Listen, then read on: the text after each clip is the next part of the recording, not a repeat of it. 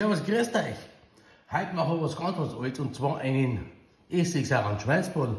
Dazu haben wir ca. 250 Gramm Schweinebraten, der einfach überblieben ist und den schneiden wir jetzt klar.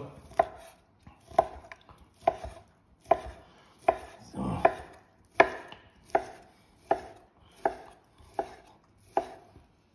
so, nachdem wir den Braten klein geschnitten haben, geben wir den in eine Schüssel. Dazu kommen zwei hart gekochte Eier. Wunderbar. Zwei Radieserl. Wunderbar. Circa zwei Essiggurkel. Die meine ich damit. Und natürlich eine schöne blaue Zwiebel. So. Jetzt haben wir uns da Essige Senf gemacht mit scharfem Senf, Essig, Öl, Salz, Pfeffer und ein bisschen Zucker. Und das kommt jetzt da rein.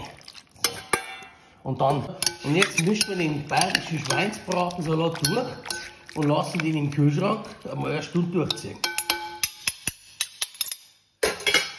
Schaut her, kalter Braten. Mmh, in einer essigen Grenade. Hier haben wir ein bisschen Sauce drauf. Ja, mmh, wunderbar. Und jetzt natürlich der Klassiker von Cosa Koht, eine Peperoni.